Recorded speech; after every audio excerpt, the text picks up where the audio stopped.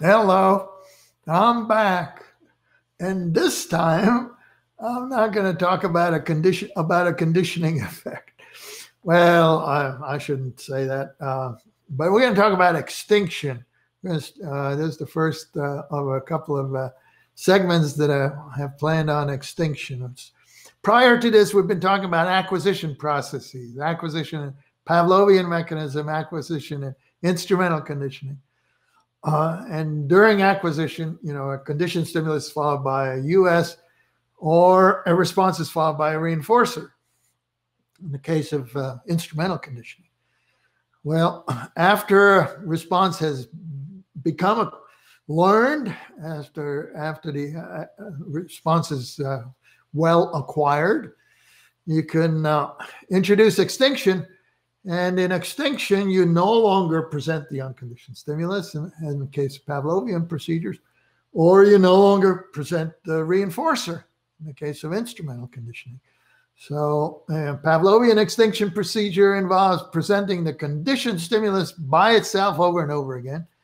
And in instrumental conditioning, it involves just allowing the response to, to take place, but there is no more uh, delivery of the reinforcer. You don't get anything for responding. And what do you suppose happens? Well, what people usually talk about is that extinction results in a decline in uh, the conditioned behavior, be it a Pavlovian or instrumental behavior. If we may look at the next slide, this shows a number of conditioning effects. And uh, in fact, you know, de- decline in responding is the most prominent one, one that most people measure and the one uh, the one that most people is the only one that most people measure. Most studies of extinction just look at the rate of response decline, and well, that's important and in- interesting. It it's not the whole story of extinction by any means. Uh, there is a phenomenon called extinction burst, where if you first introduce extinction, there may be actually an increase in re- rate of responding. This mo- most often observed in uh, uh, operant or instrumental situations following continuous reinforcement. Uh, we don't know a lot about extinction bursts. Uh, if uh, you've used a positive uh, event as the US or reinforcer, something like food or a desirable event, you introduce extinction when uh, this event is no longer available. Well, people are going to get pissed off. you get a frustration response. And a frustration response can be really interesting. You get shouting, aggression, anger. Uh, it's really cool. Uh, we don't study frustration very much uh, these days as, as a function of the uh, introduction of an extinction procedure. And uh, one of uh, an absolutely fascinating effect, behavioral effect of extinction is increased response variability uh, there, the variations in how the subject chooses to perform the response increases tremendously. He tries all kinds of new things. There's a lot of increase in variability, uh, which is an extinction effect. Again, way understudied. We have some data on it, but not nearly enough. Okay. So, uh, what determines the rate of decline in responding? The next slide illustrates uh, major determinants. Uh, biggest factor is the schedule of reinforcement that's in effect before you start extinction. That has a huge effect. Uh, and in this particular case, uh, whether uh, acquisition involved presenting the reinforcer on every trial or in uh, acquisition involved presenting the reinforcer on only some of the trials, that makes a huge difference.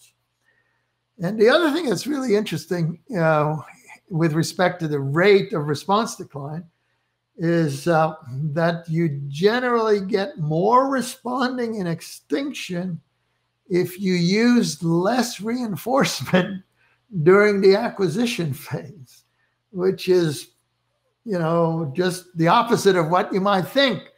You might think that uh, uh you're going to build a lot of persistence in the res- behavior if you reinforce it a lot. Well, reinforcing behavior a lot uh, uh, may lead to more rapid loss of that response when extinction is introduced. And I'll review a, a number of phenomena of that sort, which are called uh, paradoxical reward effects. The first of which is uh, shown in the next slide. And uh, these are not real data. They look much better than real data. the hypothetical data, these idealized drawings, illustrating what's called the overtraining extinction effect. Okay. So, uh, and uh, this works uh, uh, best if you use continuous reinforcement. So, imagine an instrumental conditioning situation in which a response is followed by the reinforcer every time the response occurs. And of course, the rate of responding is going to increase.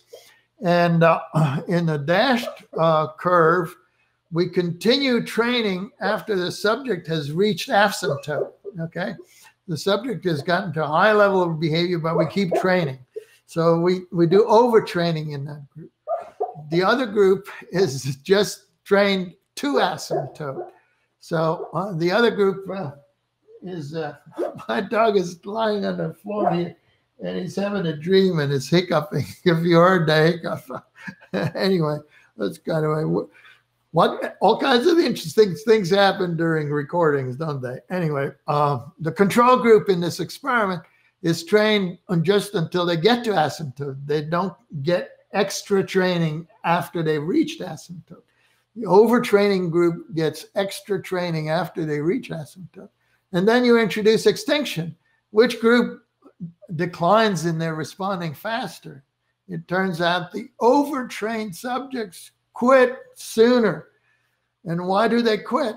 Well, the more overtraining you get, the more you come to expect the reward after each response.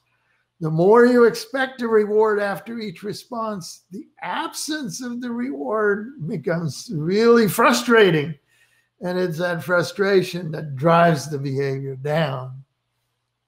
So here's my advice to you if you want to be nice to your roommate or uh, person you're living with or married to and you make them cup of coffee every day they're going to expect that they're going to have the cup of coffee every time they get up in the morning and the day you don't feel like making the coffee they're going to get really pissed at you. So um, it's it's best not to do favors for every for someone and be real consistent about it because if you then stop doing the favor they get really angry. That's the overtraining extinction effect. Don't overtrain their expectation of reward. We may look at the next slide this is the reward magnitude effect this has to do with uh, providing a large reward following an instrumental response versus a small reward uh, you might think that if you really want the instrumental response to be well ingrained and stamped in, you should have a big reward. Well, big reward may get you a slightly higher level of responding during acquisition. But if you introduce extinction, having received a big reward, extinction is going to be much more frustrating and uh, the drop off in performance is going to be much more dramatic. And this uh, is the reward magnitude effect, also a paradoxical reward effect. You see this most prominently if you use continuous reinforcement during the acquisition phase. Okay, the next slide shows you the granddaddy of all paradoxical reward effect namely the partial reinforcement extinction effect, the PREE. There have been just hundreds of experiments done on the partial reinforcement extinction effect. And what this refers to is during acquisition, you're comparing two training conditions. One of those training conditions, as illustrated by the dashed line, is uh, subject gets reinforced for each occurrence of the response, continuous reinforcement. Uh, the solid line shows partial reinforcement. So they may get reinforced 50% of the time they respond or 25% of the res- time they respond or 10 15% of the times they may. So they're on an intermittent schedule of reinforcement, variable ratio of some sort. Uh, and what do you see when you introduce extinction? What you see when you introduce extinction, the guys who got continuous reinforcement quit pretty fast. Whereas the ones that got partial or intermittent reinforcement continue to respond for quite a while. Actually, the extinction curves are really shallow following intermittent reinforcement. The partial reinforcement extinction effect is the bane of the existence of parents, particularly parents who want to discourage kids from whining. Imagine taking a kid to a grocery store. And of course, the kid initially was okay with coming along grocery shopping, but uh, kind of gets bored and and uh, starts to whine and and and, and the kids know how to get to parents and so and they'll uh, ask to uh, uh, if they could buy a toy, and the parent says, "No, we're just buying, you know, milk and eggs and stuff we need this time. No toys." The kids ask again, "Can I have a toy? Let me. I mean, there's a nice toy. Let me have that one." And the parent says, "No, you can't have it." After a while, the kid gets really obnoxious, maybe even starts to yell or stomp his feet or something. Parent gets uh, uh, uh, embarrassed, uh, breaks down, and gives the kid a toy. What, have, what has that parent done? what that, that parent has done is to reinforce uh, uh, requesting behavior, this obnoxious whining and, and asking for stuff. He's reinforced it on an intermittent reinforcement schedule which means that that behavior is going to be really difficult to get rid of with extinction. Uh, you've got, and that's why uh, the the general advice is be really consistent. You know, if uh, I, you could even decide ahead of time, hey, today you're not getting a toy, and that's the end of story, and then stick to it, so you don't end up reinforcing uh, requests on an intermittent reinforcement schedule. Because if you do, you're never going to get rid of it. Well, uh, there are a lot of activities uh, that are reinforced on an intermittent reinforcement schedule. Success in college courses, unfortunately, is like that. Uh, you know, sometimes uh, you get an A and sometimes you don't. Uh, handing in assignments, uh, if you're an author or a musician, you know, sometimes I, submitting an article for publication, it gets accepted and most of the time it gets rejected. Artists face this sort of thing all the time. And uh, one of the things that happens with artists and musicians is they become highly persistent. They continue to continue to do their thing, even they they're not getting any payoff or reward for it. And uh, so intermittent reinforcement builds this kind of tremendous persistence. Uh, why does intermittent reinforcement build that kind of persistence? Well, the reason it does is that if you get intermittent reinforcement, you occasionally face frustration for because you don't get reinforced, and uh, you essentially learn to keep trying in the face of frustration, which is a really useful life skill. And it's if we gave up every time we didn't succeed, uh, we would not get very far because uh, we end up making lots of errors. And so we have to learn to keep trying in the face of errors. And intermittent reinforcement uh, teaches you to do that. And because it teaches you to do that, uh, it uh, uh, leads to persistence when times become lean and uh, there is no more reinforcement. So, uh, what's the take home message here? The take home message, and the take home message in a lot of these uh, lectures is don't assume you know how it's going to work.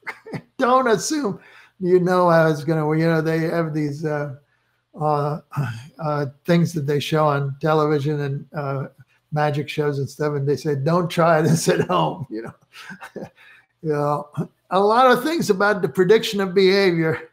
Uh, don't try it at home. Leave. Don't try. Don't make a prediction and think you know how it's going to work out, uh, because you're going to be wrong. And uh, even uh, professional psychologists are often wrong in making predictions about extinction. I just read an article last week in which uh, somebody wrote about how the reason you get uh, uh, more persistent behavior uh, in extinction following partial reinforcement is that extinction is more difficult to detect. Well, that turns out to be incorrect.